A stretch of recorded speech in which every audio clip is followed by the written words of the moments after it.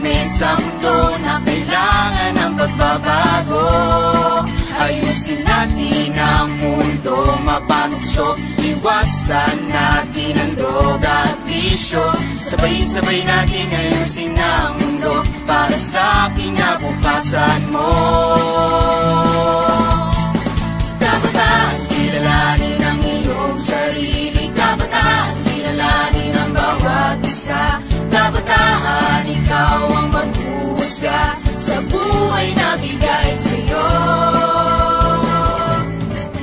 Kabataan,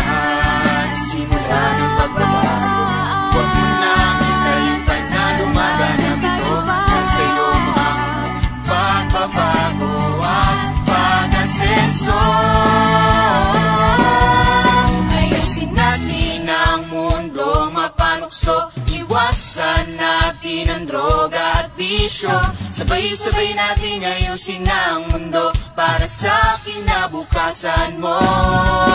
Kabataan, kilalanin ang iyong sarili. Kabataan, kilalanin ang bawat isa. Kabataan, ikaw ang maghuhusga Sa buhay na bigay sa'yo. Kabataan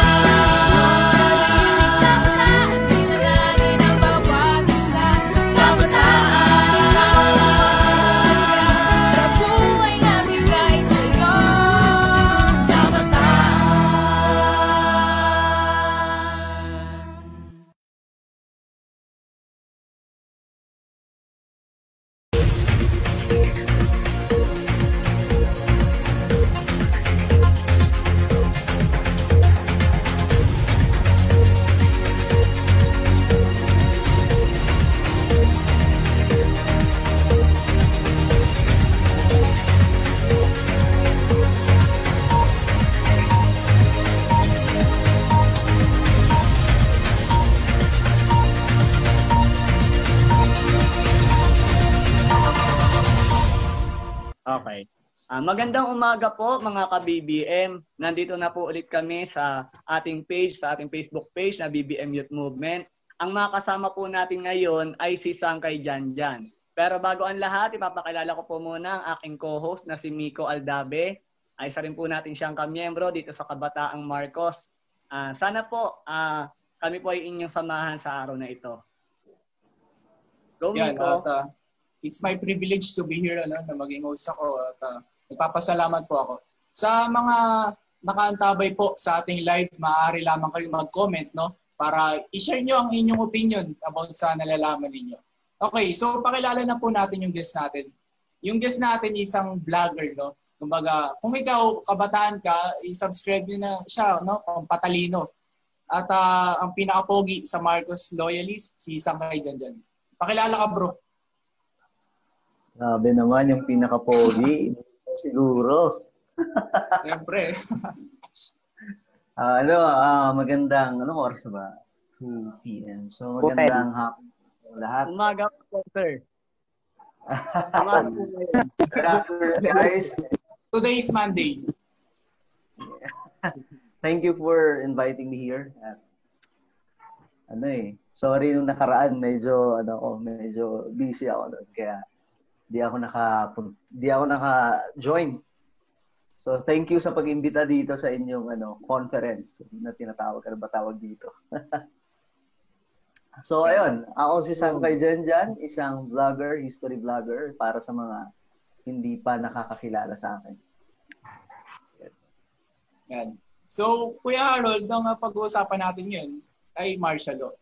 At uh, Ah, yes. alam naman natin na maraming uh, nalalandas sa kaisipan, ano, maraming kabataan ng uh, bulag sa katotohanan sapagkat ang kanilang mindset kapag sinabing martial law, ang isip na nila ay uh, masama. So ngayon, kasama natin si Sangkay dyan dyan. Siyempre, gusto natin na sa kanya na magmula, sa kanya na natin marinig kung ano nga ba yung totoong martial law. No? Ano nga ba yung purpose? Anong martial law? Bakit may martial law? May na-torture nga ba or wala?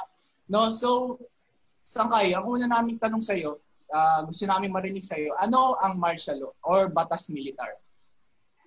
Ah, ang martial law ay isang batas ng isang gobyerno talaga na kung saan dinideklara ito sa tuwing mayroong ano, mayroong malaking kaguluhan o malaking banta ang isang bansa. Actually, ang ang nakasaad po sa constitution, maging po sa ibang mga bansa, kapag may mga riot na, na nagaganap na hindi na mapigilan ng authorities, ito yung panahon na kailangan gamitin yung martial law. Kasi kung kung masama ang martial law, dapat tinanggal na po yan sa batas natin o kahit sa ibang mga bansa. Kaso hindi. Kasi kailangan na kailangan yan nang sa ganun, mas mapapabilis yung pagdeklara or uh, authority ng isang top leader para makontrol ang nangyayaring hindi maganda sa paligid o sa kanyang nasasakupan. Yan, so alam niyo na, no, kasi ang dami yung nagsasabi na unconstitutional law to. So dagdag ko lang, kasi nung panahon kasi ng martial law, nakasaad yun sa 1935 Constitution, no, sa Proclamation yeah. number 1081. So yung sinabi ni Sangkay, kung masama yung martial law, bakit siya nasa Article 7, Section 18? So dito yun sa, kay Cory na yun, 1987, no? Constitution. Kaya hindi masama ang martial law. Okay, so Sangkay, follow-up question ko lang. May pag-asa bang magkaroon ulit ng martial law? Halimbawa, walang anti-terror bill, no? Halimbawa, walang ganun. Eh, sa bagay, kasi, di ba, dapat magtatag ng martial law kapag may terrorism, no? May terorista. Eh, sa bagay ngayon, kung ikaw tatanungin, no? May pag-asa bang maibalik ang uh, martial law, eh, subalit maraming mga tao na talagang ayaw sa martial law, no? especially mga kabataan. Tapos marami ding oposisyon. Lagi nilang sinasabi, never again. So yung mga opposition natin yun, sobrang strong, no? Ayaw na talaga nila sa martial law. So kung ikaw ang tatanong, may pag-asa ba? Depende yun sa sitwasyon. Kasi ang martial law, hindi po yan basta-basta dinideklara. For example, nung panahon ni Ferdinand E. Marcos, kaya siya nadeklara ayon sa totoong kasaysayan kasi mayroong panggugulo na matindi na doon sa Mindanao at maging sa buong Pilipinas at isa sa nangunguna doon yung komunista. So, pag may nangyayaring ganun na, uh, possible ideklara siya. Kasi hindi naman siya talaga basta-basta. For example, ngayon, uh, wala namang ganung klaseng gulo. So, parang hindi pa siya nararapat talaga na madeklara. Pero, hindi po masama ang martial law. Yun lang gusto kong sabihin. Hindi masama. Kasi batas yan para magkaroon ng kapayapaan ng isang bansa sa panahon na nagkakagulo-gulo na. Okay. So since na na-explain mo yung martial law, yung definition, no? Bakit nagkaroon ng martial law nung, nung 1972? Bakit nagdeklara si Ferdinand Marcos? Ito, based na rin to sa mga sinasabi ng mga matatanda. Kasi ang kasaysayan na to, para sa kaalaman, nakalive ba tayo ngayon? Nakalive? sa ano yes, BBM YouTube movement? Yes. All right. So para sa mga nanonood diyan, no, ang martial law na deklara noong 1972 uh, dahil hindi na po talaga mapigilan. Kasi pag binasa mo talaga, pag pinag-aralan mo yung nangyayari at that time, talagang matindi. Kasi ang gustong mangyari ng komunista noong panahon na yon is mag-breakdown yung government at masakop yung democratic system ng isang bansa into uh, communism system. So, ang nangyari, kailangan na ideklara. And actually, sabi pa nga ni Ferdinand E. Marcos, uh, nung dineklara niya talaga yung martial law, nung panahon na nakaupo siya sa isang table na dinideklara, sabi niya, I, Ferdinand E. Marcos, I clear martial law, etc. ganyan. Ang sabi niya, uh, naghanap sila ng paraan kung paano pipigilan. Kumbaga, nagpasensya sila ng nagpasensya bago madeklara ang martial law.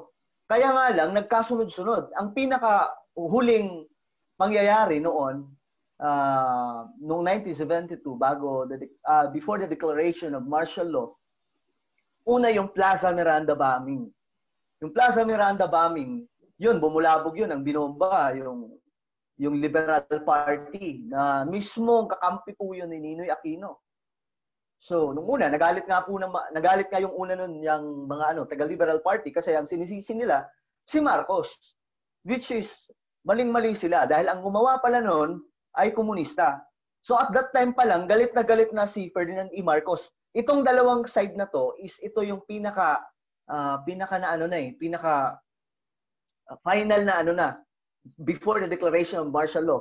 Pero bago yung dalawang yan na babanggitin ko ngayon is napakarami may mga bomba, pambobomba sa mga headquarters ng uh, constabulary ata yun kung ano, kung mabasa mga authorities, binobomba yung mga government facilities at saka iba pang mga lugar dito sa Pilipinas. Hindi lamang po sa Luzon, but Luzon, Visayas, Mindanao, nangyayari po yun. Kaya ang nangyari is, pasensya si Ferdinand E. Marcos kasi ayaw nga niya. Alam naman natin si Ferdinand E. Marcos na sobrang makabayan siya at mahal na mahal niya yung mga Pilipino. Pagdating po ng ano, sumunod after ng Plaza Miranda bombing, dito na yung pinakamatindi. Kasi kung maalala nyo, siguro familiar kayo sa MV Karagatan na storya, yung isang barko na galing sa China na mayroong libo-libong mga armas na ihahatid na sana dito sa nakarating na mismo sila sa Pilipinas, nasa Isabela na eh. Ibababa na sana ng barko. Subalit natunugan yon ng mga tao ni Ferdinand E. Marcos, ng authorities, ng mga sundalo. Kaya ang nangyari, nasa kote nila. Pero kahit i-google pa yan, kahit i-research pa yan, makikita nyo doon na napakaraming mga armas na dala. Kaya nga, ang sabi ni Victor Corpus, na dating komunista, na sumuko na, ayon po sa kanya, uh, kung hindi daw sila, kasi sila sila ang ano nun eh, sila Victor Corpus yung susundo nun sa mga armas na yon na inano, inangkat nila Joma Season. Uh, kung hindi sabi ni Victor Corpus, uh, nasa kote ng mga sundalo, yung mga armas na yon, baka iba daw ang tumakbong kasaysayan ngayon ng Pilipinas. Kumbaga, baka nasakop talaga tayo ng komunista. Kasi at that time, sobrang lala po talaga nang nangyayari. Well, hindi naman po tayo nakaabot doon. Pero, kung tanong ka sa mga matatanda, dito mo talaga malalaman na grabe pala yung nangyari. Kumbaga, ito na lang, ganito na lang kasimple. Kung yung nakikita nyo ngayon sa Mindanao na magulo doon, may mga patayan, may mga bombahan, walang-wala pa yan nung panahong yun, mga, mga sangkay. Kasi, uh, nung panahon na yon, uh, magulo talaga. Buong Pilipinas ginugulo nila. Na, na napuntahan nila yung mga universities ng ating bansa, naloko nila yung maraming kabataan at napakaraming mga kabataan ang napunta sa bundok. So, yun yun yung trigger. Before the declaration of martial law, mahabang pasensya muna. Then until nagdeklara si Ferdinand E. Marcos, pero hindi po siya nagdeklara mag-isa buo gobyerno, lahat sila nag-decide, maging ang Supreme Court, maging sa Kamara, nag, nag, nag-usap-usap sila kung anong magandang gawin. Then until na nagdeklara na ng martial law. Yes, at uh, dagdag ko lang, tama naman lahat ng sinabi ni Sangkay. No? At dagdag ko lang, hindi lang naman na uh, communist insurgency yung uh, dahilan ng martial law doon. Meron din na uh, Muslim secessionism. So yun yung yes, dalawa yes. talagang, yun yung mga lang gulo, no? Tapos yung hmm. sinabing, yung pangalawang sinabi ni Sangkay, if I'm not mistaken, noong 1971, Plaza Miranda, tama ba yung yung taon? Plaza Miranda ba? So yung 1971, talagang uh, sinabi nung uh, aking uh, lolo at siya yung naka-witness, no? At uh, sinabi din ni, no, kasi si Senator Ilarde, kilala niyo ba yun? So ano daw siya nung dati, journalist siya.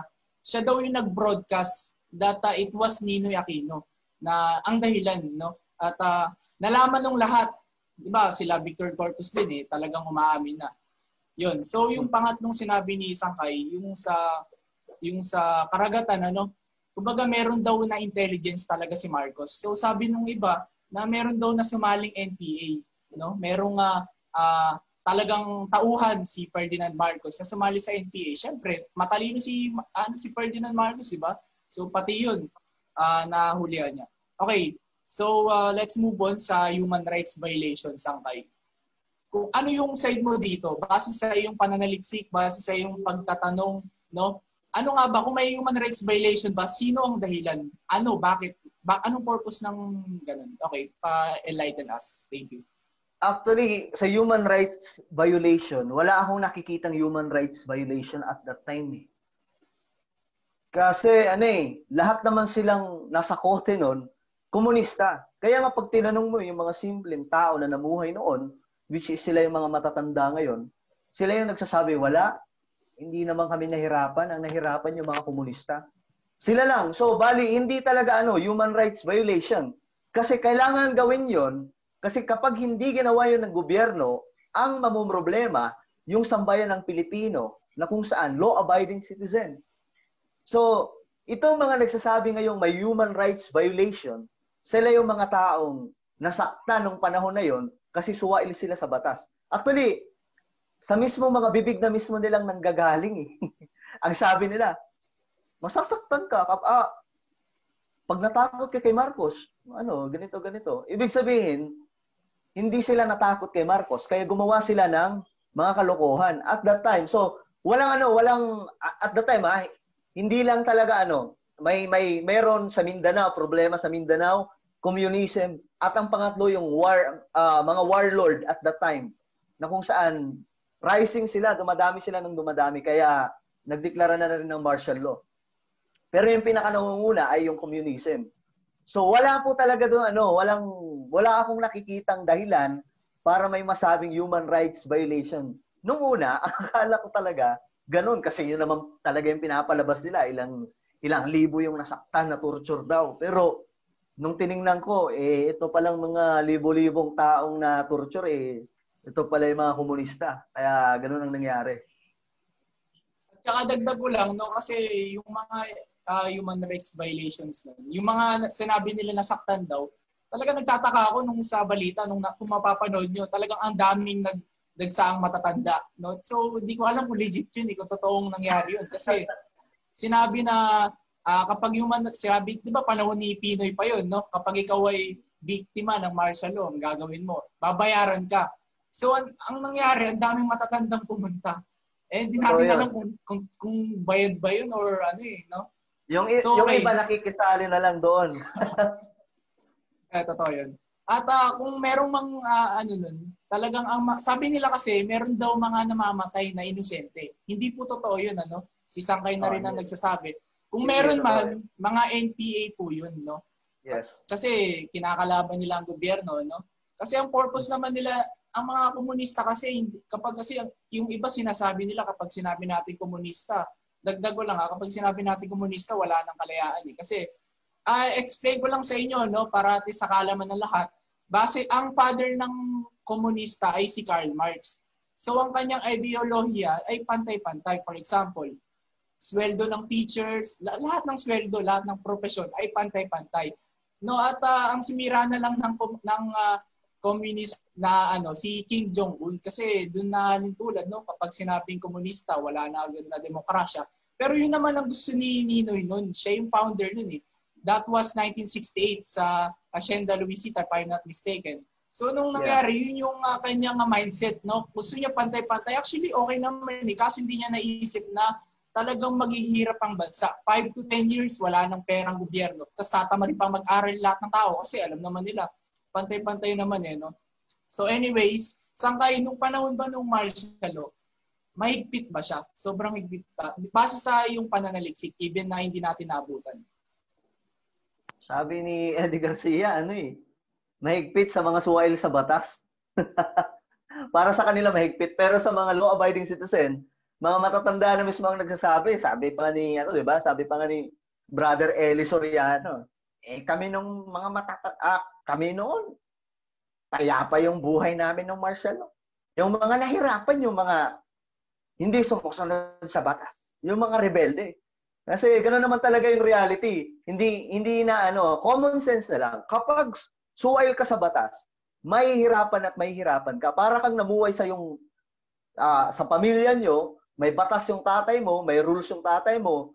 Ngayon, kung hindi ka susunod sa rules niya, mapapalo ka.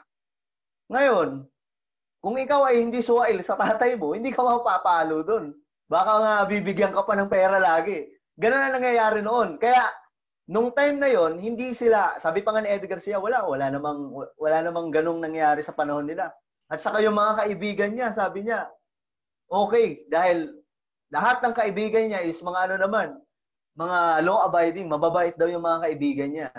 So ito dapat yung malaman ng maraming kabataan na nung panahon na yon hindi nahihirapan yung mga law-abiding citizen. Kagaya rin sa panahon natin ngayon. Kung law-abiding citizen ka, hindi ka naman mahihirapan eh. Akala lang nila kapag maghigpit yung batas, tayo nga lang yung bansa na ano eh, hindi authoritarian eh lahat ng mga bansa dito sa Asia, dito sa Asia, believe ako sa sistema pagdating sa government, sa authorities na mayroon sila kasi mahigpit. While dito sa Pilipinas, konting ganun lang ng pamahalaan, galit na galit na yung mga ano, mga ano diyan. Alam niyo na 'yon. So nung time na 'yon, wala naman talagang nahirapan. Ang nahirapan nung panahon na 'yon, na nagsasabing mahigpit, mga pasaway. Well, tsaka totoo naman, yung, uh, if I may say, yung uh, spokesperson ni Cory Aquino nun, yung, uh, I forgot the name eh. Ang sinabi niya nun, yung sa interview nila ni, ni Lord De Vera, no, na tinanong kasi ni Lord De Vera kung may disiplina ba kayo nun. Tapos sinabi na ito nung, nung matanda na ang lahat ng mga nagpapadisiplina daw, takot. No? So sila daw, matatapang daw sila. Mula sa bibig, mula sa bibig mismo nila nahuli. Okay. So, last sang kay, ano, bago tayo mag-move on. Ang tanong ko, kasi sinasabi kasi nila, kapag daw ah, meron daw na mahabang buhok sa mga lalaki, no? At ah, may mga tato. Kumbaga, halatang-halatang tato eh. Aarestuhin daw. No, hindi ko alam, hindi natin alam kung propaganda to or totoo ba eh. Kasi ang sinasabi nung iba, nung mga ibang law-abiding citizen, ang ginagawa naman daw, na kumbaga tinitignan lang daw, kasi daw lahat daw ng mga tato, ah matik na na, kumbaga nakulong daw. So, in, tinitignan yung record, no?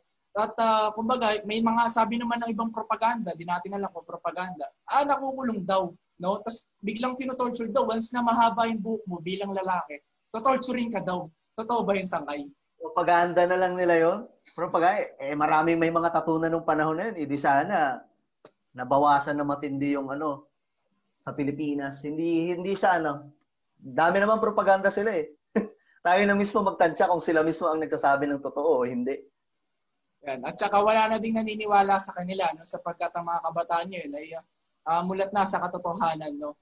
So Sangkay, uh, sa'yo, balik base sa'yo, kung naging komunista tayo sa tingin mo, ah, nung nangyari nung halimbawa, nung 1972 hindi nagproklama ng martial law at nakuha ni Ninoy Aquino, kumbaga yung pagiging presidente at siya naging presidente. Sa tingin mo, pwede mo bang ma-describe mo ba sa amin kung ah, anong ah, ah, itsura ng Pilipinas ngayon kung tayo komunista?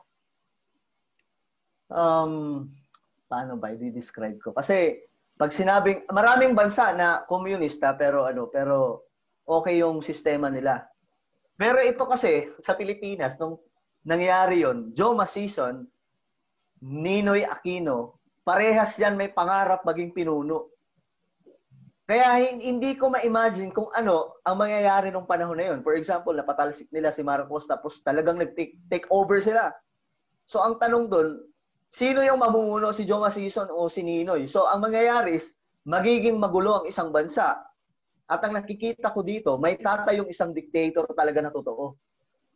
And possible, pag hindi si Joma Season, si Ninoy Aquino, si Commander Dante.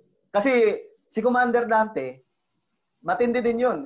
Siya ang may hawak ng pinakamaraming sundalo ng komunista nung panahon na yun. eh. Si Ninoy Aquino, siya yung siya yung ano, may ano, maraming kapit. Si Joma Season naman, siya yung may utak sa komunismo. So ang nakikita ko doon, medyo magulo talaga. Magulo ang magiging sitwasyon ng Pilipinas. Alam naman natin kung ano mga pakay nila eh. Parang yung pangyayari ngayon, yung Dilawan at saka yung communist, parehas gustong mag-take over sa government. Ngayon, for example, yung communist ang maunang mag-take over sa government, tapos andyan sila, sila ano, Kiko Matching. Ang mangyayari sa dalawang yan, mag-aaway ang dalawang yan, komunista at saka yung pure dilawan. Ganun kasi, pareha, pareha sila gusto ng gusto ng power eh. Pareha sila gusto ng power. Ganun din ng panahon na yun. Ninoy Aquino at Joma Season, gusto. In fact, sabi pa nga ni Joma Season eh, gusto niya magtayo ng pinakamalaking base ng military ng komunista doon sa Isabela. eh si Ninoy Aquino eh, pangarap din. Pangarap niya mag-lead sa Pilipinas. Pangarap niya maging komunista yung bansa. So, magiging magulo talaga. Mag-aaway-away. Baka mangyari pa is magka-civil war. Asa kayo may tanong si Mau sa'yo? Sige, go ahead, Mau. Sige, tanong ka. Naka, Um, tungkol lang dun sa ano, kasi alam naman na natin na yung Western country ay naririnig ka ba? Medyo maingay lang. Medyo maingay. Sige, sige. Go ahead. Ah, tungkol lang dun sa ano, kasi alam naman natin na ang ang Western country o yung mga tulad ng Amerika, may mga bansa, ayaw nilang nalalamang Ah, may meron kang nabalitaan na ah, yung bansang yun gumawa ng paraan upang bigyan bigyan ng suporta o kumbaga nagkampihan ng dilawan at ang Amerika para lang pa- pabagsakin dahil alam alam na- alam naman natin na naging mayamang bansa ang Pilipinas kung saan muntikan na silang pahigitan, di ba? Ah, ang piso kontra da- sa dalawang dolyar. Yun yung nangyari dati. Ah, tanong ko lang, totoo ba yun na ah, nagbigay sila ng suporta o bini, ah, pumabor sila sa dilawan? Kasi tulad ng kwento ni Bongbong Marcos na ah, uh, kinidnap sila ng mga CIA, pinapunta sa Hawaii, kung saan hindi sila natuloy doon sa Ilocos ah, Norte. Totoo ba yun na ah, mayroong kinalaman yung bansang western country tulad ng Amerika sa ah, pagbagsak ng Marcos? Yun lang. Oh, ako rin, sa politics dito sa Pilipinas, laging involved po ang Amerika. Kaya nga kung mayroon ditong traidor sa Pilipinas, Amerika, hindi ko sinabing lahat ng presidente, pero the whole system of the America lagi pong involved sa Pilipinas. Especially nung panahon na yon, alam nila na ang Pilipinas at that time, ano siya eh, ah, magiging mas makapangyarihan sa Asia. Kasi ang plano ni Ferdinand E. Marcos is gawing center ang, ang Philippines ng Asia. That means, at that time kasi, lahat ng mga mga pinuno ng mga bansa, ang tinitingnan at hinihingaan ng tulong si Ferdinand E. Marcos, hindi yung Amerika. So, isa yun sa dahilan kung bakit sinabotahe. Maliban sa maliban sa Marcos Gold or Marcos Wealth na yan, yung ano, yung kapangyarihan ni Pangulong Marcos, yung authority ni Pangulong Marcos sa Asia. Kaya nga pagkalayo-layo ng Amerika, gusto niya manguna dito sa Asia, di ba? Laging ganun, gusto nila nangunguna sila dito. So, kwento na rin naman ni Bongbong Marcos na nakidnap talaga sila. So, involved. Marami pa. Kahit ang panahon ni Erap, involved, dun, involved din yung Amerika eh. Ano nga lang, medyo mahaba-habang balitaktakan na yun. Si Jamir, saan kayo may tanong? Sure. Sige, Jamir. Nakamute ka. Sige, tanong-tanong lang. Basta kayang sagutin, tanong lang. Jamir. Okay. A- Ako na po. Sige, tanong. Okay na. Go fire. Hello po, Sangkay. Ako po si Jamir Pavillar. Hello. Ang tanong ko po, saan kayo nakakakuha ng lakas ng loob at tapang na mag magbalita sa mga katulad naming kabataan na loob na na itama ang mga pinabalita ng mainstream media kagaya niyan ng bias CBN ng mga Rappler sa buti po ano ano, nawala sa isip ko.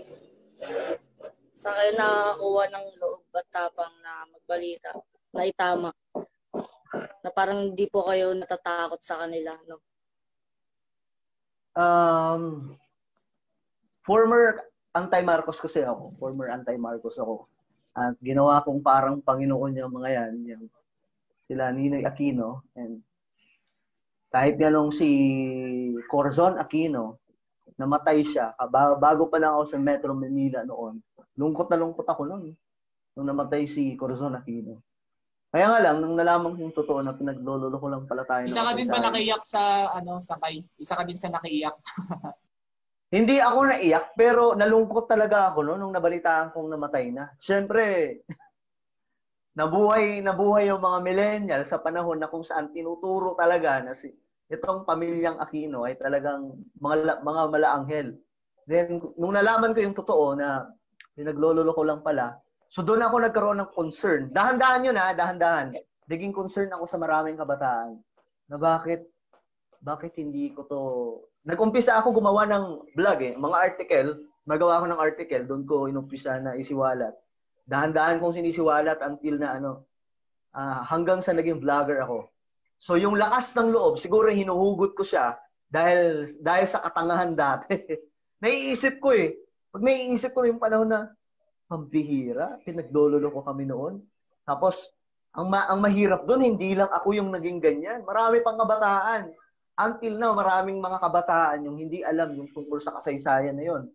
Kaya, yun yung ginawa kong content talaga. Isa sa pinaka number one or pinaka heart ng content ko is yung history. Simple lang. Mahalin mo lang yung bayan mo. Maintindihan mo yung lahat. Okay. Saan kayo may tanong si Angelo sa'yo? Okay. Angelo, paki-unmute. Si John Angelo pala. Sige, go fire. Ah, baka dyan dyan, ah, sino po nag-inspire sa inyo na mag-start ng vlogging and inspire also others, lalo na po yung mga kabataan, na maging open-minded sa history and politics? Yan po.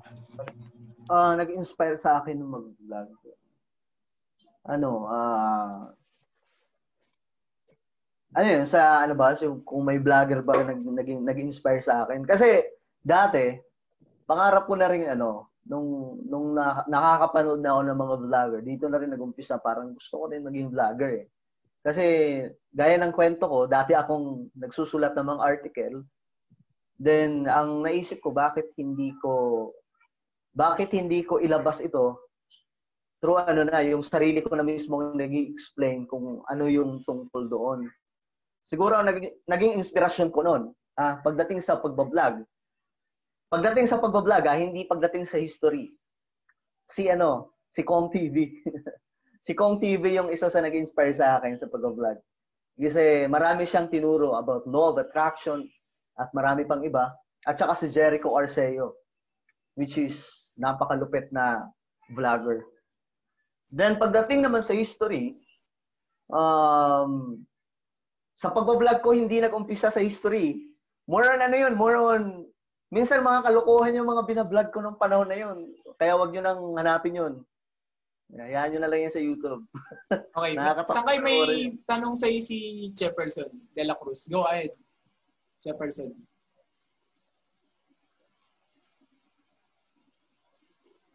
Jefferson. Okay, mukhang wala.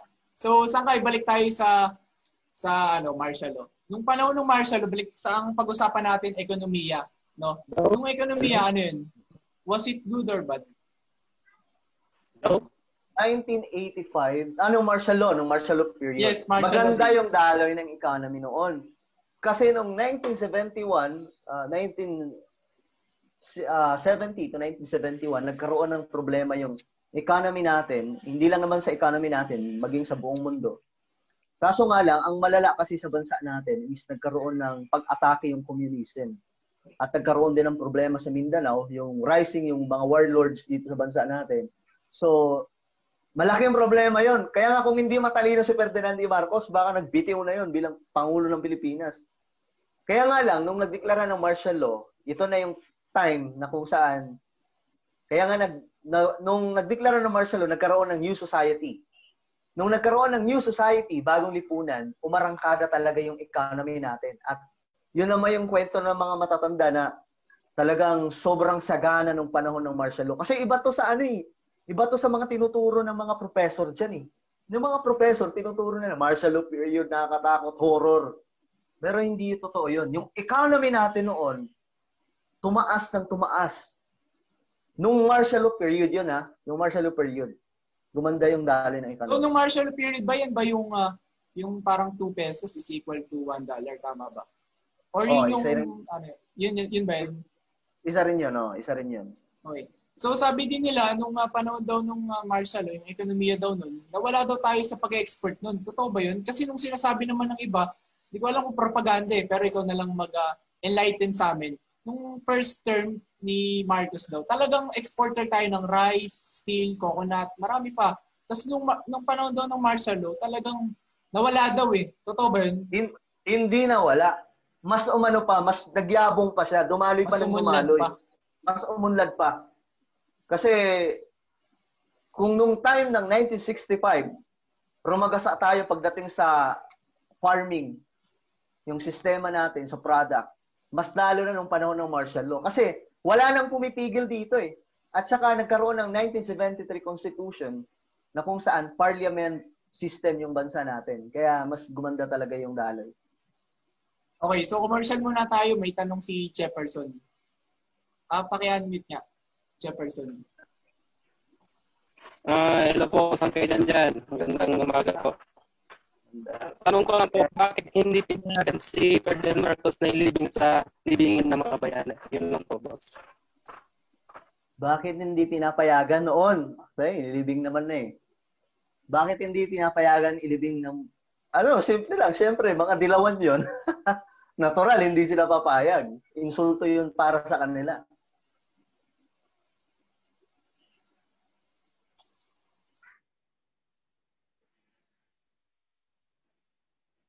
Walang tunog, walang tunog. Okay, yung after ng martial law, no? Yung after ng martial law, totoo ba yung sinabi kasi nila na, di ba umutang si Ferdinand Marcos nun, no? Para sa, kumbaga, bill, bill, bill, kasi under bill, bill, bill tayo nun. Kasi di ba, kakatapos lang ng war nun, di ba? So, nung Hmm. umutang siya nun para sa infrastructure, nung mga after ng martial law daw, ah, talagang wala na daw na ginagawa si Marcos. Kumbaga, nagbabayad na lang daw ng utang kasi ang laki daw nun eh. Yun na lang daw. Kaya daw yung, yung ekonomiya daw natin bumaba. So anong Yun- ah, side mo dun? Yun yung propaganda nila. Lahat naman kasi ng mga bansa may utang talaga. Lahat ng mga bansa mayroon talagang utang. Pero yung propaganda kasi ng Dilawan is yung talagang higanting utang ng Pilipinas. Sa totoo lang, nagkautang ng malaki ang Pilipinas sa panahon ni Corazon Aquino, hindi sa panahon ni President Marcos. Pag tiningnan mo yung yearbook nila sa Malacanang, makikita mo yung tunay, ebidensya doon. Trilyon na, umabot ng trilyon. So six years lang One na yun. trillion. Trilyon na umabot yung kay Corazon Aquino. Ilan lang yung kay Ferdinand E. Marcos from 1965 to 1986. Billion lang. Tapos nung ano daw, nung mga first term ni Ferdinand Marcos, di ba nangutang siya nun. Pero mababa yung debt rate natin dun eh. No? Hmm. So anong side mo dun? Bakit umutang siya ng malaki dun? Kumbaga, ah, ang dami kasi nakikriticize sa kanya nun eh. Kasi ang laki ng inutang niya talaga nun. Tapos First kahit daw mababa yung debt rate, sabi nila mga first or second term daw, bas, mga ganun umiikot. Umutang daw kahit mababa yung debt rate. Totoo ba yun? Ah, ang hindi ko masyadong kabisado yung part na yan. Pero ang pagkakaalam ko, kaya siya nangutang kasi gusto niyang mapalago agad at that time yung ah, pagdating sa farming, mas mas focus siya sa farming eh. Ganon si Ferdinand E. Marcos, tinutukan niya. At saka hindi, oh, hindi raragasa kasi yung ah, sistema ng ah, pagsasaka sa bansa natin kung wala mga infrastructures project. Mga kalsada. At uh, dagdag ko lang ano, kaya umutang si Ferdinand Marcos nun kasi parang ito, etymological uh, speaking, papautangin ba kita kung alam kung di ka magbabayad. No? Kasi Pilipinas mayaman talaga nun. At saka, kumbaga, pinau sabi din nila, totoo ba to sangkay, umu- ah, pinautang daw ang Pilipinas ng World Bank na malaki kasi daw talagang totoong nag-deposit ng gold si Ferdinand alam Marcos. kasi nila, hmm, alam kasi ng World Bank na mayroong gold si Ferdinand E. Marcos. Hindi naman basta-basta magpapautang yung World Bank ng ganong pagkalaki-laking pera kung wala talaga silang nakita eh. Kaya ganong kalaki yung kataas yung kumpiyansa ng World Bank kasi alam nila at that time. At ang nagpapatunay na dun si Attorney Karen Yudes, ano, former lawyer ng Yes, uh, yes. World Bank. Yun talaga. Okay, so may tanong sa'yo si John Angelo. Okay, John Angelo, go ahead. Nakamute ka ata. Okay, go fire. Ano na? Ah, Tay, ano po yung masasabi niyo dun sa pinublish na article ng World Kindness? Yung tungkol sa Guinness pinaka World Record ba? ang na leader sa buong mundo. Top 1 kasi dun si ano si PM. Yes po. Kinokontrol naman talaga eh. Siyempre, minaniobra na ng Amerika yan. Lahat naman sila, magkakampi yung mga yan. Dilawan, Amerika. Hanggang ngayon, di ba, nangingialam pa nga yung Europe sa atin eh. Gusto pa nilang saklawan yung pamumuno ni President Duterte. Hindi malabo. Sila-sila rin ang maniobra niya. Kaya ang Okay. maniniwala dyan, ang sabi ni Atty. Gadon, mga bobo na lang. Okay, ator ay ano, sangkay, di ba? Ang requirements para mailibing sa libingan ng bayan, di ba? Ang naging requirements ni Ferdinand Marcos noon ay uh, naging presidente siya at uh, naging sundalo siya, di ba? Lumaban siya nung uh, war, nung Japanese war.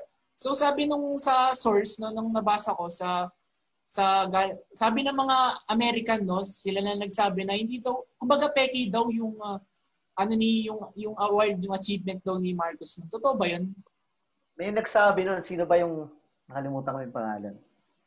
Yung unang nagplabas ng chismis na yan. Kalokohan lahat ng yan. Si Enrile na nga ang nagsabi mismo na ang sabi niya, totoo yung mga award or mga medalya na binigay sa kanya. Lahat naman ginagawa ng propaganda nitong mga dilawan. Kasi saklaw nila eh, media hawak nila. Kung maalala nyo, si, si Bongbong Marcos ginawa ng kung ano nung chismis na nas recto lang daw ginamit galing daw sa recto yung certificate. Pag-aaral niya doon sa ano, Europe ba 'yon? Pangalawa si Amy Marcos yung sa ano, UP. Dinoktor lang din daw. Kahit na may ebidensya na, nandyan yung picture, andan yung graduation. So, lahat naman, ka, tayo maging wise na lang tayo pag alam nating sa media galing at saka sa mga dilawan, alam na natin yan. Isang malaking chismis at ang chismis nilikha, ginawa para paniwalaan ng mga mangmang at mga bobo. At saan kay alam ko na aware ka sa Kingmaker, no? Alam mo yung palabas na yun. Kasi nung kala ko talaga, ang ganda, kala ko positive kay Marcos yun eh. Tapos yung pala Yeah, propaganda. Ah, maaari mo bang i-summary sa amin? Kumbaga, ibuod sa amin yung story ano, no? Alam natin propaganda para sa mga hindi pa nakakapanood. So ano bang story nun? Hindi ko siya tinapos bandang dulo eh. Pero ang ang nakita ko lang sa unang part, okay, yung unang part, pinapakita doon kung anong ginagawa ni Imelda Marcos, namimigay ng pera sa mga mahihirap. Kaso nga lang, katagalan na, dito na, dito na nagka, nagkakaroon na ng kalokohan dahil propaganda na siya, sinisiraan na yung mga Marcos. Kasi ang nagpondo pala noon, itong sila Andy Bautista. Ang So pagkaalam sino ko yun, itong, Sankay? Antay ba yun? Antay Marcos ba yun? siya yung ano, head ng PCGG. Ah, sa bagay. Dati ah, former former ano siya, chairman ba ang tawag doon ng Oh. PCGG. siya yung dating ano na yan. At ang masakit dito kasi ito si Andy Bautista, hinahanap to ng authorities. Ngayon, nakapag ano pa ng ano, nakapagpondo pa nitong movie na Kingmaker. Dito nga, ah, ayon sa source na mayroon ako, medyo nalugmok na lang si Madam Imelda Marcos at nasabi na lang doon niya, isipasa Diyos na lang natin. Nangyari yun. Kasi wala silang kamali-mali. Ang akala nila is, ano lang, ah, interview na yon ng international para ilabas yung side nila. Yun pala, sinabotahe pala ng si Raulong ano na yun, director. Oo, totoo yun. At uh, last question ko, Sankay, kasi dami ko pang gustong itanong. Eh. Nung panahon ni Cory, ano, yung mga income generating projects ni Ferdinand Marcos anong purpose, bakit niya binenta? Kasi lahat naman, everything has a purpose, no? Anong purpose nung, ano yung naging rason niya para ibenta ang mga income generating projects like uh, yung Philippine Airlines, yung LX, SLEX, binenta ata yun. Tapos marami pa. No? Anong, anong kanyang rason para doon? Kumita. Kumita. Yan lang. Gusto nilang kumita. Ang tanong nga doon, nasa, saan napunta yung pera? Nung binenta nila, may project pang nagawa. Wala nga eh. Wala silang proyekto na nagawa at that time. So, isa sa dahilan doon, maliban sa sinabi niyang ano, pag, ang sabi sa mga, si Enrile ata yung sabi noon na, ah, nung panahon ni ah, Aquino, Corazon Aquino is, lahat ng kay Marcos, benta natin, dispatcha na yan. Maliban sa mga nag-ooperate na talaga na hindi na kaya. Um, pero pagdating sa pagbebenta, malamang pinagkakakitaan nila yon nung panahong yun. At uh, base sa, hmm, tama, base sa sagot ni Atty. Larry Gadon, no? may nagawa naman si Cory, pero isa lang. Yung sa EDSA, no? I forgot na, nakalimutan ko yung tawag doon. So, kumbaga yun yung nagawa niya. No? Tapos yung, Yung ano? purpose daw, yung sa EDSA Sige. daw, bandang EDSA. Okay. Oo, so, ano tsaka daw niya, ang purpose daw, kaya ang reason daw, kaya daw binenta to, para daw, ah, kumbaga, may iwasan ng corruption. Kasi, di ba, ano, control ng gobyerno yun, di ba? Lahat ng income generating projects, di ba? Kon- Kontrolado. So, ang purpose daw nung ginawa ni Cory, na, kumbaga, para daw maiwasan yung corruption. Kumbaga, binigay sa privatization, no? So, ikaw, ah, na, na-refrain ba yung ah, talagang corruption, no? Or lalong lumala nung binenta yung Lalong lumala. projects? Lalong lumala kasi ang binentahan ng mga yon, mga oligarko. So ang nangyari, instead na matutulungan ng government natin yung community sa pamamagitan ng mga ano, mga kumpanya na hawak ng gobyerno, hindi na nangyari. Kasi mismo mga oligarchs na yung humawak sa mga kagaya ng Meralco na yan. Anong nangyayari sa Meralco ngayon? Pagkataas-taas kahit kahit hindi pinapaandar daw yung ilaw, pagkatingin sa ano, babayaran, napakalaki. So ang nangyari, mas lalong naghirap yung Pilipinas dahil nga sa nangyaring yun. Kumbaga, o sige, ibenta natin yan para maiwa para maiwasan yung corruption. Kasi corrupt daw yung government eh. Kaya ang nangyari tuloy, itong mga oligarko, lalong yumaman, lalong yumabang, hanggang ngayon, nagpapakasasa.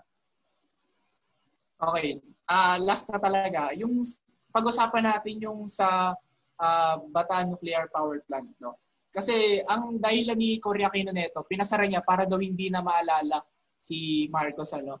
Kung uh, nabuksan pa kaya to, no, anong ano kayang Pilipinas sa kaya tayo ngayon? Uh, ang ang Bataan Nuclear Power Plant talaga ay susuporta sa demand ng energy dito sa Pilipinas. Nagka, na banda 90s ata yun, nagkaroon ng problema pagdating sa energy demand. If I'm not mistaken, at may mga brownout na nangyari nung panahon na yon. Pero kung may Bataan Nuclear Power Plant nung panahon na yon, kung nag-operate yon, atigasan na lang sila ng mukha na yon. Eh. Kasi kahit nangyayari na yun, o sige, okay lang yan. Kayang tiisin natin yan. Basta, hindi, mapa, hindi lang mapa-operate yung BNPP na yan. Pero kung napaandar yan, mura yung kuryente hanggang sa ngayon. May mura rin bayaran sa tubig hanggang sa ngayon.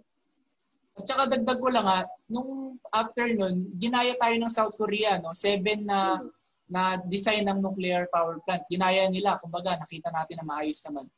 Pero hindi lang naman yun ang dahilan ni, ni Cory, no? kaya niya pinasara yung Bata Nuclear Power Plant. Ang dahilan niya kasi yung natural calamities. No? Kasi hindi naman natin maiwasan. Tignan, tignan nyo naman sa Hiroshima, no? yung sa Japan, no? kumbaga hindi nyo nangyari. No? Anong masasabi mo dun? Kaya bang ma, yung natural calamities, no? Siyempre, uh, mga bagyo yan, mga lindol. Sa tingin mo ba, safe pa din ba kahit may ano ganun? Safe ba yung, yung nuclear power plant?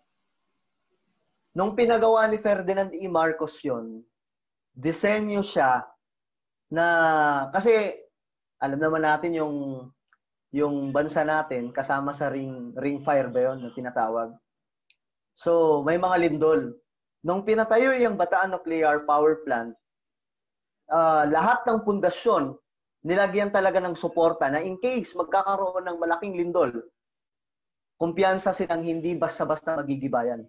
Kasi kaya nga pinagbabalakihan ng mga ano ng bumubuo ng nuclear power plant na hindi hindi tayo magagaya sa nangyari sa ibang bansa na may sumabog. Kasi maganda yung pagpapagawa nito ni Ferdinand E. Marcos. O, oh, tsaka mga taga Europe na eh, mga expert doon na nagsasabi Europe, na yeah. safe na safe talaga. Sila na din safe talaga na nagsabi. Okay, so last, balik tayo sa uh, sa people power. Ano siya, revolution or rebellion or kudita, ano siya? Kasi nag-build siya, di ba? Para sa was it uh, revolution or rebellion? Ano ba? Rebellion yun. Kasi dito lang naman yun eh. Metro Manila. Pero pwede natin tawagan tawaging revolution. Kaya nga alam, revolusyon ng mga manghang. At uh, sinasabi din nila no na 2 million daw almost na umabot daw ng ganun something no. Totoo ba 'yun? Sobra daw dami ng tao. Ang dami naman nila. Hindi majority sa mga Pilipino noon dito sa pero di sumama. Marami, marami. Marami akong nakausap ng mga taxi driver na andito sila. Wala. Hindi daw talaga sila sumama. Mukha lang marami. Kasi yung media, nag-take over at the time. At saka dumami daw yung mga truck, no? Kumbaga parang pinatraffic daw para yung mga tao. Parang magmukhang madami, no? Tapos maraming sasakyan daw nun. No? Yun yung hmm. base kay Attorney Larry doon. Hmm. No?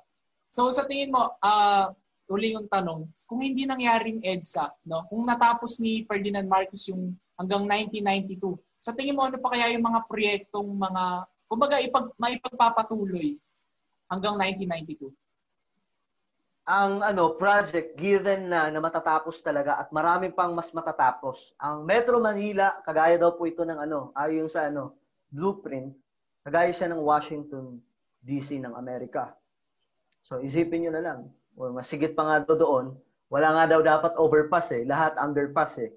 Mga aircon pa. Yun yung disenyo talaga na mayroon ng Metro Manila. At saka, napakaganda kung titingnan nyo yung blueprint.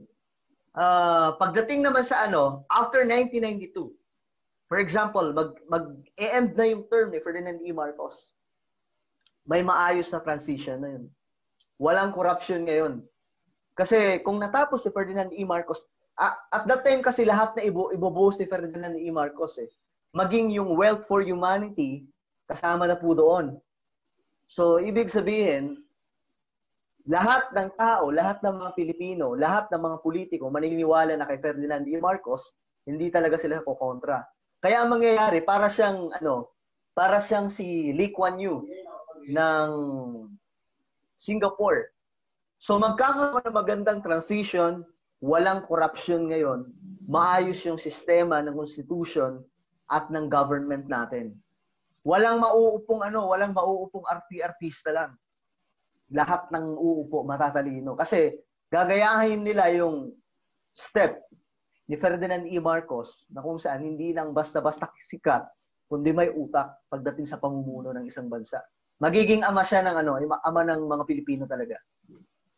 Di ba yung Bill Bill Bill kay Duterte, yung Bill Bill Bill ni Duterte sa blueprint ni Marcos yun, tama ba? Oo. Uh, so yes. magbigay ka nga ng mga uh, mga natapos na, no? Kumbaga sa mga kinopya ng mga sus kasi may mga mga kumopya din naman ng blueprint kahit paano yung kay GMA, 'di ba yung MRT, tsaka yung PNR oh. nasa blueprint yan.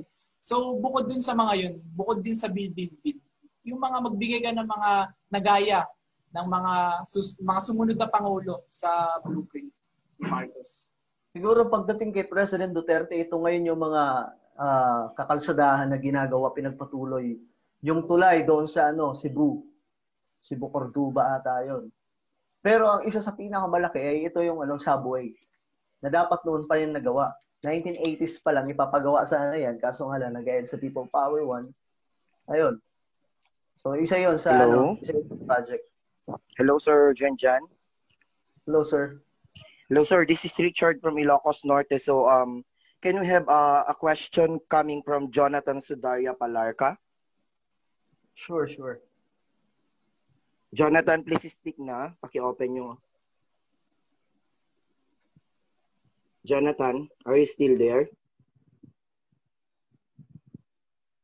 Jonathan Palarca, please. Um, paki, paki unmute siya, guys. So, ito yung tanong ko. Narinig niyo ako? Yes, yes, yes. Go. Ito kasangkay. Ito po yung tanong ko. Can you compare the administration of President Marcos to the administration of two Aquinos, namely Corazon Aquino and Noynoy Aquino? Medyo putol-putol. Hindi ko masyadong ano. Uh, Can you compare the administration of President Marcos to that administration of two Aquinos, namely Corazon Aquino and Noynoy Aquino? Ah, i-compare. Medyo putol-putol yes. kasi. I-compare yung Marcos administration at saka yung dalawang Aquino. Yes.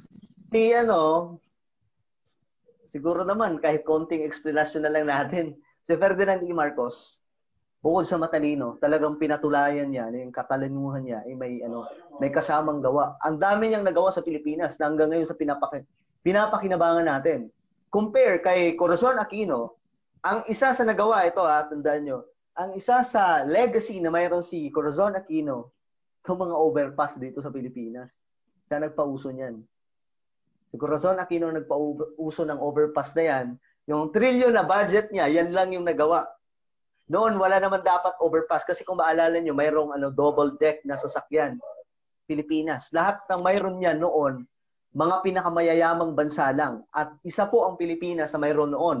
Yung love bus na tinatawag po ata yon. Then, yun yung naging legacy ni Corazon Aquino. Isipin nyo, trillion yung budget, tapos yan lang yung nagawa, tapos mga rebulto na ni Ninoy Aquino. Si ano naman, si Noynoy Aquino, may mga nagawa si Noynoy Aquino pero hindi talaga sa kanya. Kay Gloria Macapagal Arroyo. Yun lang yung mga ano niya, yung kagaya ng... Kumbaga, ano, nadatnan niya na lang yung project na yun nung maupo siya.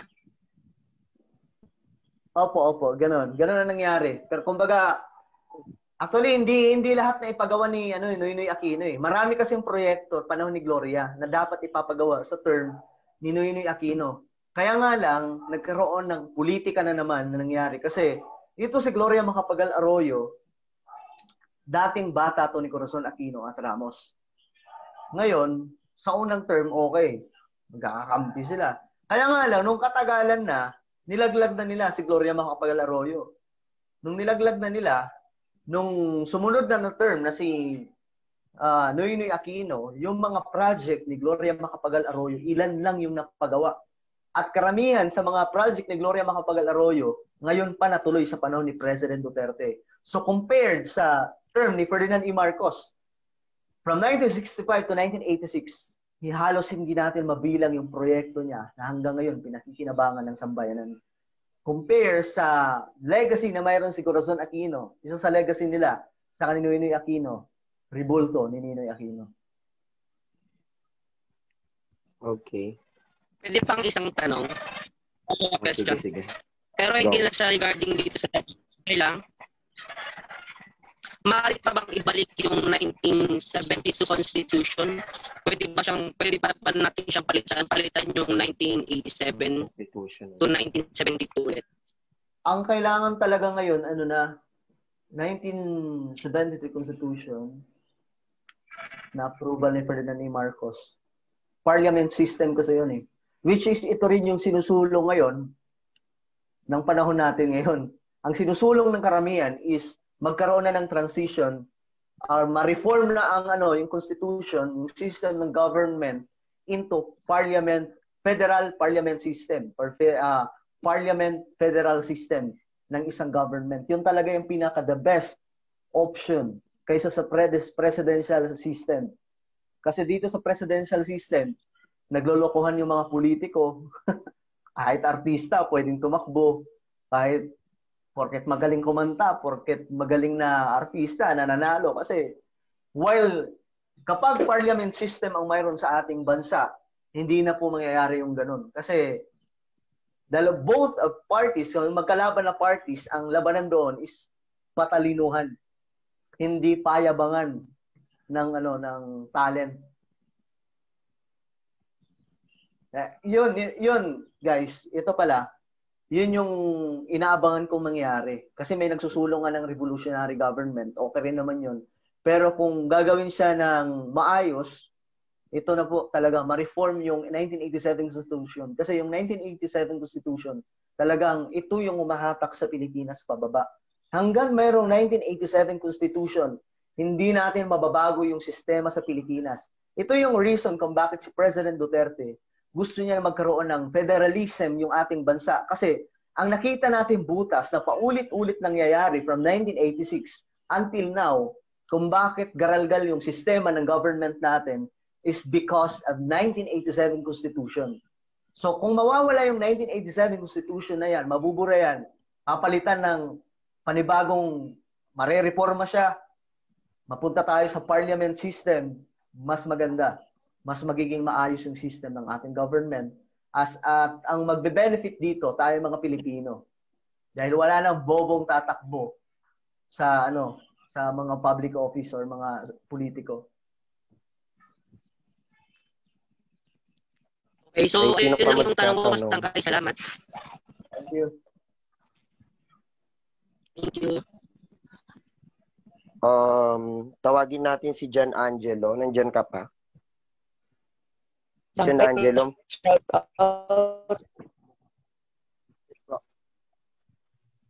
Uh, saan kayo po kaming prepare question sa'yo?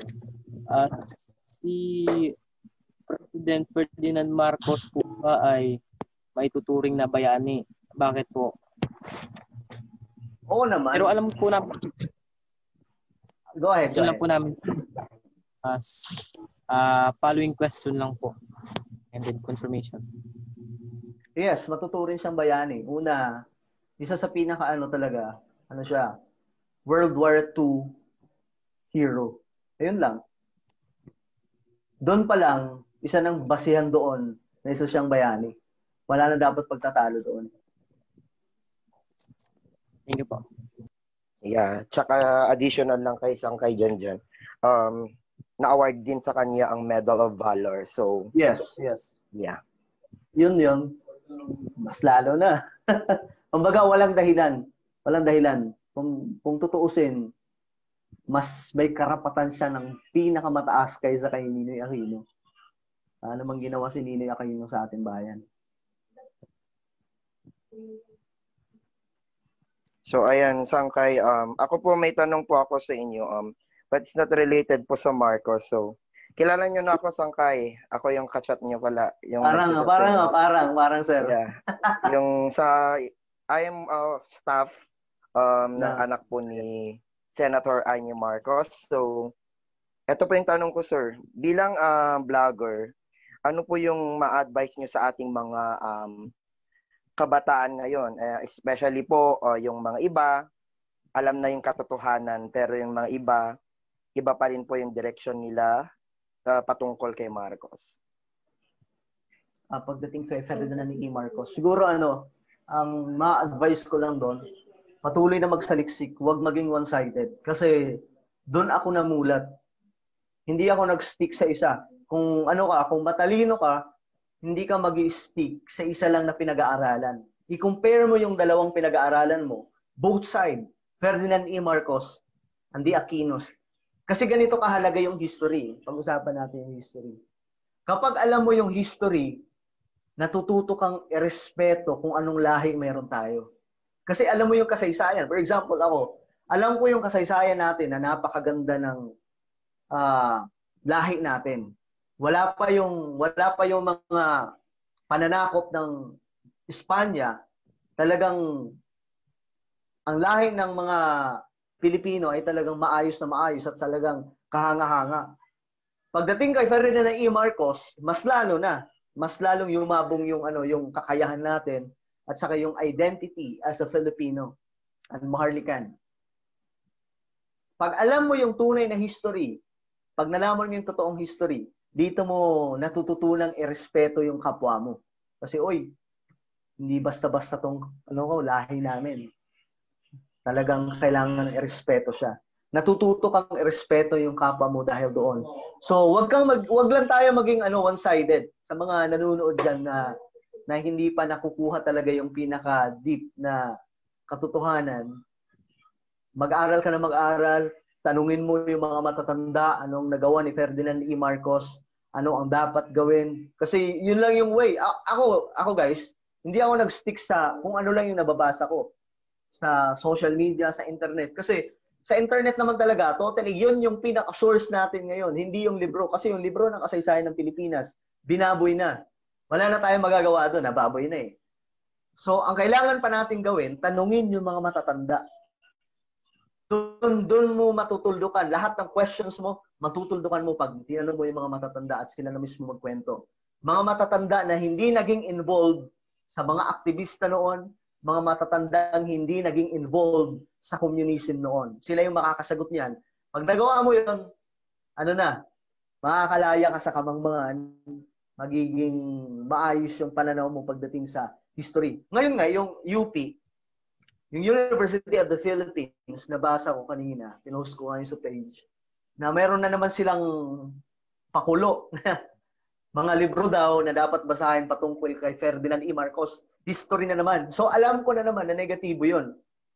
Kaya dapat tayo mga kabataan, huwag tayong ano, huwag tayong padadala sa pang-uuto nito maraming professor kasi talagang itong mga malalaking universidad dito sa Pilipinas, wala itong ginagawa sila kundi utuin yung kabataan, turuan.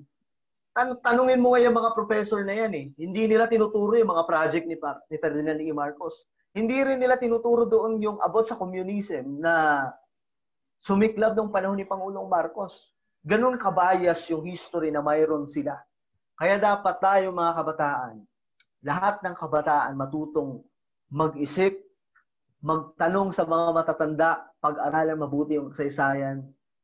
Pag nagawa mo yon, kagaya ko makakalaya ka sa kamangmangan ng kasaysayan na binaboy ng mga dilawan.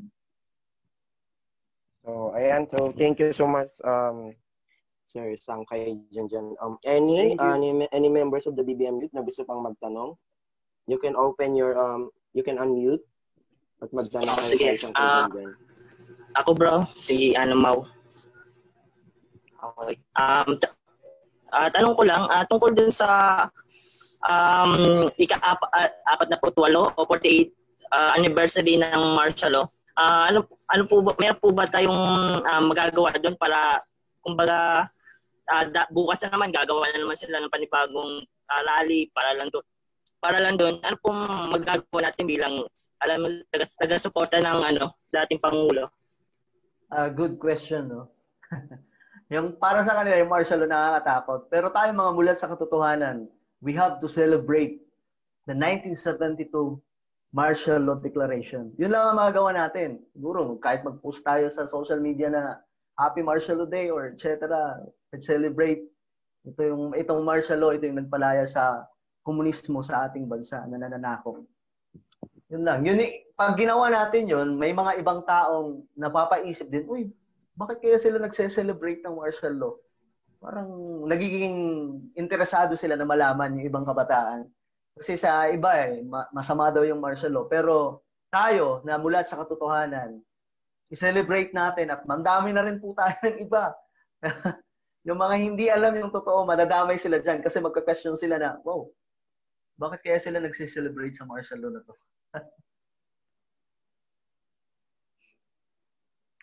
Okay, next. Sino pa gustong magtanong, guys? BBM Youth members, unmute kayo Ako. din magtanong kayo. Okay.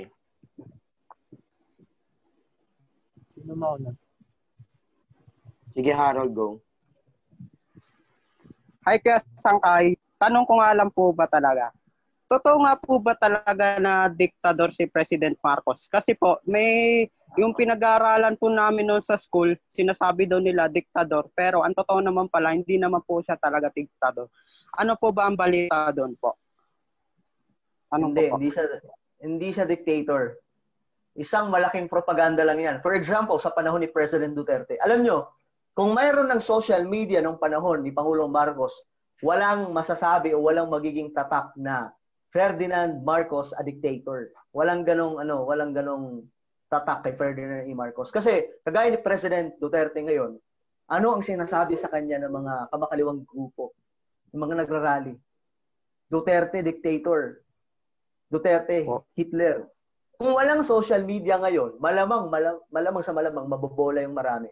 So kagaya nung panahon natin ngayon, sinasabihan si Duterte na dictator pero hindi naman talaga si dictator. Same nung panahon ni Pangulong Marcos. He is not and he will not be a dictator. Po. Sige po. Okay po. Ilan po yung tanong ko. May magtatanong pa ba, guys? Unmute lang kayo kung gusto niyo magtanong kay Sangkay. Meron pa ba? Yes po, about sa Mas Ubus. Marcos. Oh, meron daw, meron ata. Sige, sige, magsa. Ay, um, saan kaya ano kayang nangyayari sa bansang Pilipinas kung hindi na pa, kung hindi po napalitan si Pangulong Marcos po ng Aquino administration? Ah, maganda yung transition. Maraming project na magagawa. Mas magiging maganda ang Pilipinas. Magtutuloy-tuloy yung golden age ng ating bansa. Bukod doon, yung transition, na, nasabi ko na kanina, yung transition ng leadership, parang Lee Kuan Yew, and the next ah, leadership or leader ng kanilang bansa sa Singapore, naging maayos hanggang sa ngayon. Sinundan ang sinundan yung yapak ni Lee Kuan Yew. So, ganun ang mangyayari kung si Ferdinand E. Marcos. Susundan yung yapak niya, walang corruption na mangyayari, maayos yung government system ng bansa sana. So, imagine niyo ngayon, 2020, walang corruption, walang PhilHealth na garapal na niloko ang taong bayan. Ganun sana ang mangyayari. Okay po, thank you po. Okay. Meron pa? Yes po, pwede magtanong ulit. Pwede pa? Okay. Sige. Hinay-hinay lang. Isa-isa lang. Kung tuloy na naging president si Marcos, di ba nga, kailangan niya nang bumaba kasi matanda na siya. Pwede bang maging susunod na hali sa kanya si BBM? Kung sakasakali. Nung time na yon ay sa tingin ko hindi ata. At the time, bata pa si Bongbong Marcos noon eh. Hindi, hindi pa ata. Si bata pa- si Bong. Hindi pa. So, ayun. Ah. Second pa, bakit wala sa history ng mga libro yung mga nagawa ni late President Marcos? Bakit puro propaganda yung nandun na um, nakalagay ni Nino is the hero, ganun. Kumbaga, bakit hindi si Marcos ang nakalagay sa libro? Binago kasi talaga ng mga Aquino yun. Lahat ng libro ng kasaysayan, binago nila. Simula sa grade 1, pinalabas nila na masama sila Marcos. Kumbaga sila butahe yung libro ng kasaysayan. Kaya ang nangyari, puro kasi yung malingan.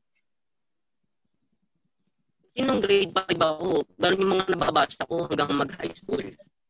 So, nung nagkaroon ng social media that time, doon na ako na, nagsaliksik. Tapos doon ko nahanap yung siguro na parang namulat na rin na parang sa The Filipino Future, ganun. Tapos sa Mahalikan.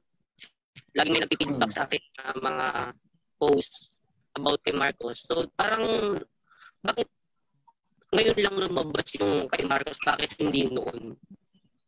Na-control kasi nila yung ano, yung libro ng kasaysayan.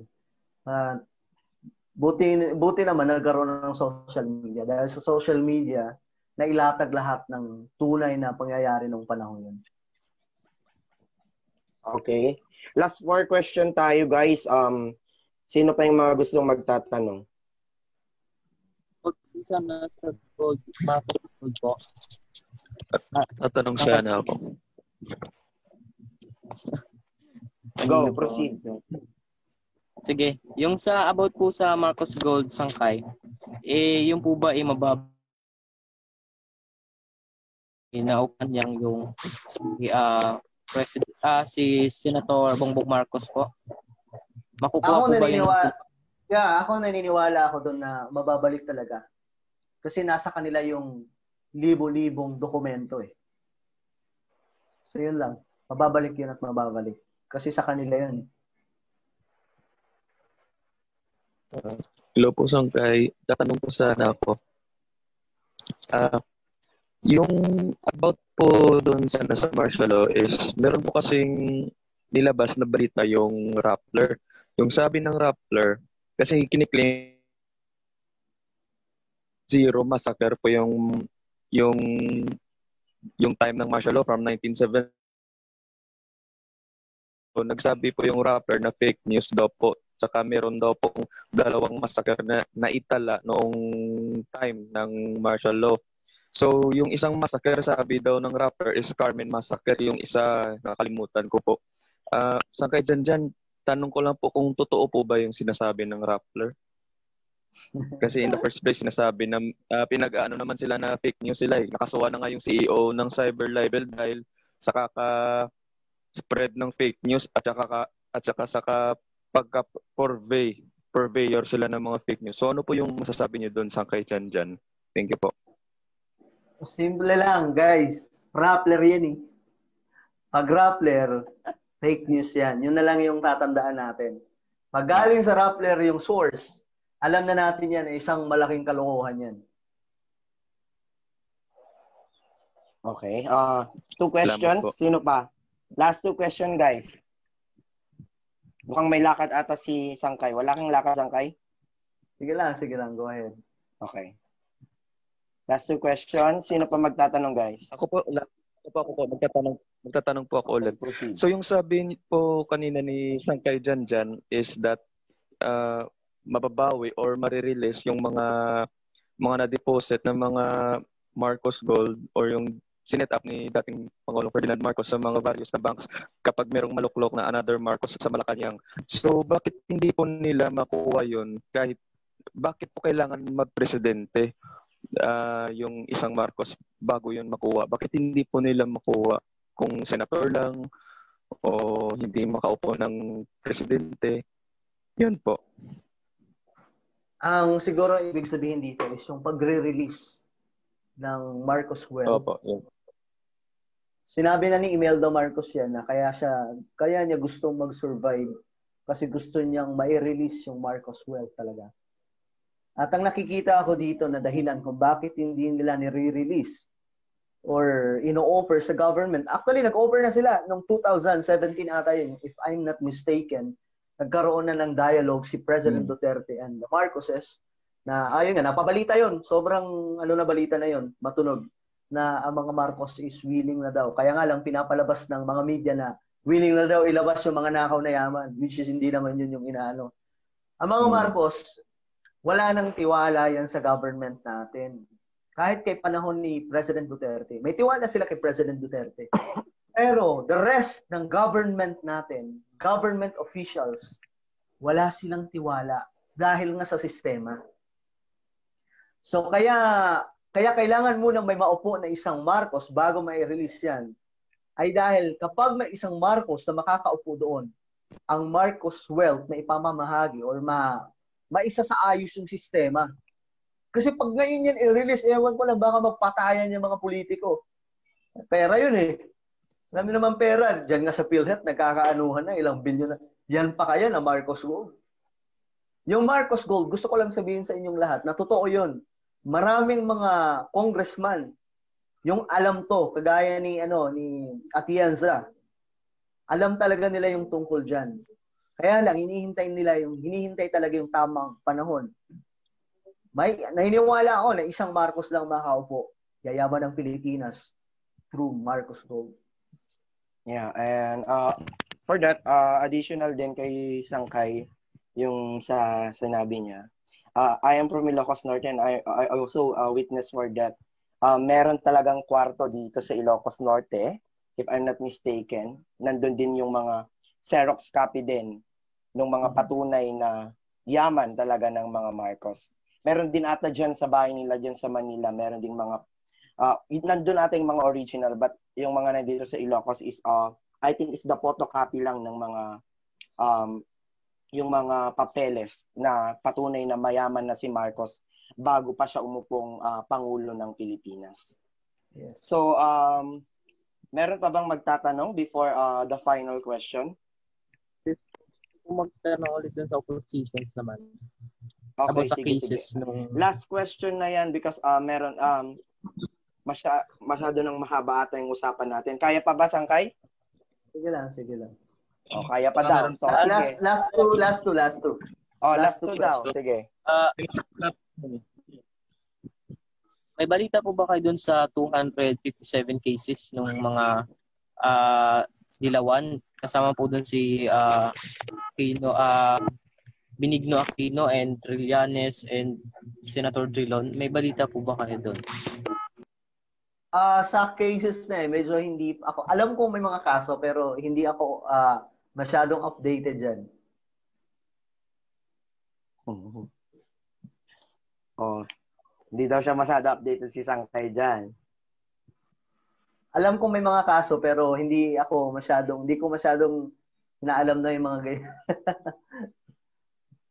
Next question, baka mayroon pa. Okay, uh, Sangkay, etong tanong na to, um, panglahatan na. Panglahatan na lang. Maari nyo bang ikwento ang laman ng blueprint ni Marcos? Medyo mahabang. Siguro eh, yan na lang natin eh. Summary na lang natin yung blueprint. Pagdating sa blueprint Yun ni... si, si Sangkay dyan. Oh. Ayun, sa blueprint ni Ferdinand ni Marcos, nandun lahat ng mga mangyayari. Kaya nga nagkaroon ng declaration ng New Society nung panahon ng martial law kasi doon na inumpisan. Ang blueprint ni Pangulong Marcos, naumpisan po siya noong nagdeklara ng New Society or bagong lipunan sa Pilipinas. Kaya nga nakapagpatay ng napakaraming project sa Pilipinas at um, very, very organized. Lahat, lahat na mangyayari. Lahat ng sistema, for example, yung mga pabahay, maayos yung pagkakalugar, yung mga government office, maayos yung pagkakalagay. Kagaya ng circle, eh, kung alam nyo yung uh, mga government office dito sa Quezon City Circle, makikita nyo dyan na mga government office hindi nagkakalayo, magkakatabi-tabi lang sila. So, bali na umpisahan po talaga nung panahon ni Pangulong Marcos lahat. So, ayon nga po sa blueprint, kasi nasabi ni uh, Amy Marcos na ang blueprint ng kanyang ama, lalo na dito sa Metro Manila, ay para daw po tayo, tayong nasa ano, Washington ng Amerika. So just imagine na ganun ang Metro Manila, ibig sabihin, wow, sobrang lupit nun.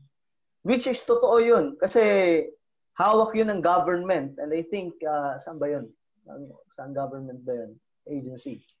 Basta hawak ng gobyerno yung blueprint na yon na yun nga yung sinusundan nila President Duterte ngayon na ilan sa mga proyekto or marami sa mga proyekto doon na po doon na po nanggagaling. Kasi rekta pa tayo na lang. Kumbaga nandoon na yung plano kailangan na lang ng pondo. Ganun lang. So lahat very organized. Sa mga pabay mga government office saan yung mga saan yung mga business establishment. Ganun po yung mangyayari dito sa Pilipinas sana.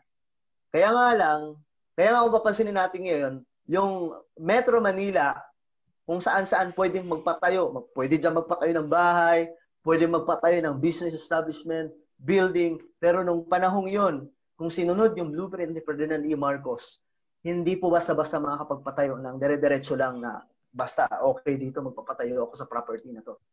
Susundin at susundin yung blueprint kasi gagaya uh, mahiging ano tayo na eh, very progressive country tayo.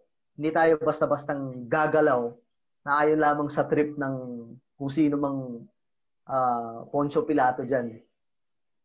So, sayang nga yung blueprint na yun. Sayang.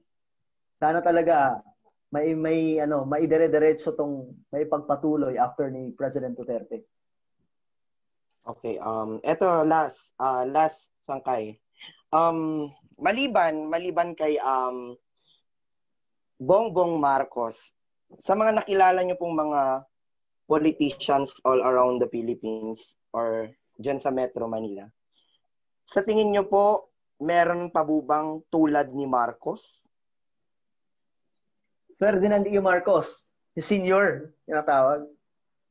Or meron pa ba? Meron pa ba kung katulad si Ferdinand Marcos? Pagdating sa talino, walang katulad si Ferdinand E. Marcos eh. Wala siyang katulad. Pero pagdating sa ano, sa strategy, na may hawig, meron kahit paano. Pero pagdating sa talino at kakayahan, iisa lang si Apo Lakay. Yeah, yun. So ayan, uh, salamat sa Janjan. Pero um for for the last time, ano po yung um message niyo po sa ating um, sa mga BBM youth natin na nandito ngayon at sa mga yeah. nakikinig po? Alright, uh, tuloy lang tayo guys. Yayaman din ang Pilipinas, maging progressive country din tayo. Basta ang lagi kong ina-advise, maging law-abiding citizen lang tayo. Yun lang. Maging sumunod lamang tayo sa gobyerno natin.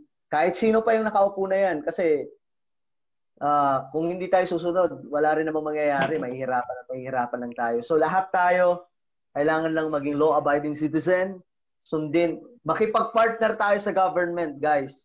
Tayong mga kabataan mismo ang makakatulong sa ating pamahalaan walang maidudulot yung rally-rally na yan. Nasabi ko sa inyo, magiging NPA lang kayo. Walang maidudulot yan. Ang kailangan natin gawin, makipag-partner tayo sa pamahalaan. In what way tayo makikipag-partner sa ating pamahalaan? Makakatulong tayo kahit sa simpleng pagsunod sa batas lamang. So, ayan. So, maraming salamat po sa kay Jan Jan sa time niyo po. Um, ayan, may, nawala si Harold. Meron lang po siyang ginawa. So, ha- Brandon, meron ka pa ba? Okay. Uh, magandang umaga po mga ka-BBM. Nandito na po ulit kami sa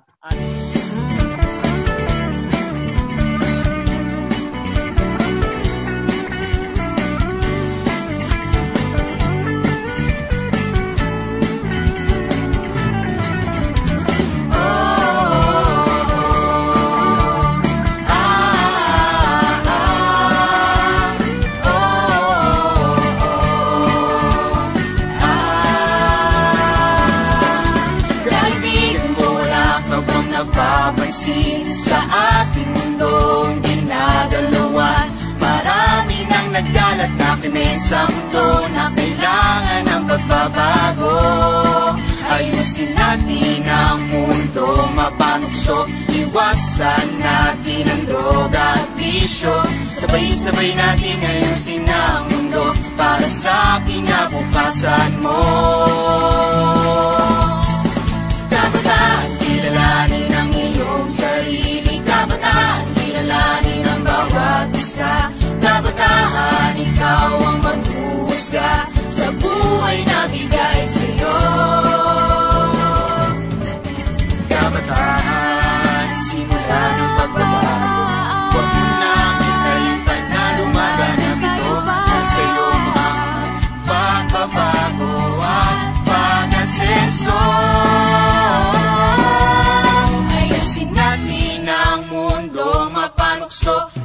Iwasan natin ang droga at bisyo? Sabay-sabay natin ayusin ang mundo. Para sa kinabukasan mo. Kabataan, kilalanin ang iyong sarili. Kabataan, kilalanin ang bawat isa. Kabataan, ikaw ang maghuhusga Sa buhay na bigay sa'yo. Kabataan.